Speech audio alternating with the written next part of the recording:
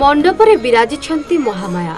ପୁରପଲ୍ଲୀ ହୋଇଉଠିଛି ଚଳଚଞ୍ଚଳ ଗାଁଠୁ ସହର ସବୁଠି ଉତ୍ସବର ମାହୋଲ।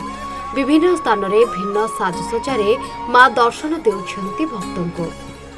ସେହିଭଳି ଚାନ୍ଦବାଲି ବ୍ଲକରେ ବିଭିନ୍ନ ସ୍ଥାନରେ ପୂଜା ପାଉଛନ୍ତି ମା ଦଶଭୂଜା ସେଥିମଧ୍ୟରୁ କଇତଖୋଳାରେ ତାଳପତ୍ରରେ ନିର୍ମିତ ମାଙ୍କ ମୂର୍ତ୍ତି ଦେଖିବାକୁ ଜମୁଛି ଭିଡ଼।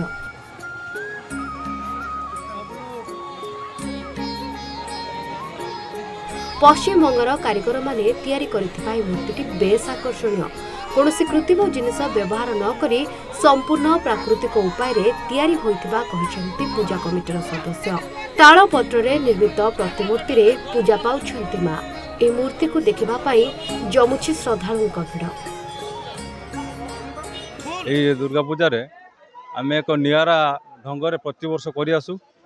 ଏକ ପ୍ରାକୃତିକ ରସାୟନକୁ କୃତ୍ରିମ ରସାୟନକୁ ବ୍ୟବହାର ନ କରି କେମିତି ପ୍ରାକୃତିକ ଉପାୟରେ ତିଆରି ହୋଇପାରିବ ଆମର ମୂର୍ତ୍ତି ପ୍ରତିବର୍ଷ ବିଭିନ୍ନ ଦ୍ରବ୍ୟରେ ପ୍ରାକୃତିକ ଦ୍ରବ୍ୟ ଯେମିତିକି ଆପଣଙ୍କର ହେଁସାତି ଶାମୁକା ଆଉ ଆଗ ବର୍ଷ ସୁତୁଲିରେ ହେଇଥିଲା ଆଗ ବର୍ଷ ତା ଆଗ ବର୍ଷ ଚାଉଳରେ ହେଇଥିଲା ତା ଆଗ ବର୍ଷ କାଚରେ ହେଇଥିଲା ଏହିପରି ପ୍ରତିବର୍ଷ ଏକ ବିଭିନ୍ନ ଢଙ୍ଗରେ ଏକ ବିଭିନ୍ନ ଜାକଜମକରେ ଆମର ମୂର୍ତ୍ତି ତିଆରି ହୁଏ। ବହୁତ ଜାକଜମକ କରି ଆମେ ଏ ଅନୁଷ୍ଠାନ କରୁ। ବହୁତ ବି ଆ, ମାନେ ଆମ ଭଦ୍ର ଡିଷ୍ଟ୍ରିକ୍ଟ କହିବାକୁ ଗଲେ ଆମେ ଏକ ନମ୍ବରରେ ରହୁ। ଉଁ, ଭଲ ଭାବେ ହୁଏ ପ୍ରୋଗ୍ରାମ। ଆଉ ଷ୍ଟାର ମାନେ ବି ଆସନ୍ତି କିଛି ଅଲିଉଡ଼ ଷ୍ଟାର। ଆଗଥର ଆସିଥିଲେ କା- କାଲକାଟାରୁ ଆସିଥିଲେ ଏ ବର୍ଷ ଆମେ ଅଲିଉଡ଼ରୁ ଡାକିଛୁ।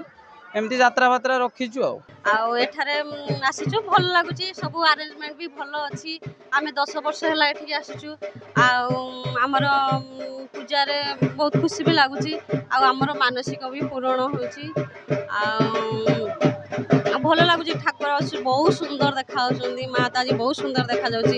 ଆମ ଏରିଆରେ ତ ଏଇଟା ବହୁତ ବଡ଼ ପର୍ବ ଆଉ ବହୁତ ଭଲ ଭାବରେ ଏଠି ପାଳନ କରାଯାଏ ଦୁର୍ଗା ପୂଜା। ଆଉ ଭଲ ଧାମରା ଏରିଆରେ ଏଠି ଭଲ ଭାବରେ ହୁଏ କଇତି ଖୋଲାରେ ପୂଜା। ସେହିଭଳି ସମସ୍ତ ଶ୍ରଦ୍ଧାଳୁ ମାଙ୍କ ନିକଟରେ ଧୂପ ଦୀପ ଭୋଗ ଲଗାଇ ଆଶିଷ ଭିକ୍ଷା କରୁଥିବା ଦେଖିବାକୁ ମିଳିଛି। ସେପଟେ ଦୋସିଙ୍ଗା ପୂଜା ମଣ୍ଡପରେ ମଧ୍ୟ ସମ୍ପୂର୍ଣ୍ଣ ନିଆରା ଭାବରେ ପୂଜା ପାଉଛନ୍ତି ମା ଦଶଭୂଜା। ଚାନ୍ଦବାଲିରୁ ଦେବକାନ୍ତ ମହାନ୍ତିଙ୍କ ରିପୋର୍ଟ ସୂଚନା ଟିଭି